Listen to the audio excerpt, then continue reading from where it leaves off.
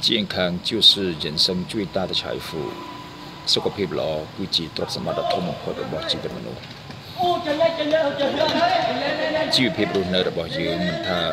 នៅហត់យ៉ាងណាទេយើងត្រូវតែឆ្លៀតពេលដើម្បីលេងកីឡាដើម្បីហាត់ប្រាណជាពិសេសគឺយើងជួយចិត្តទាត់បាល់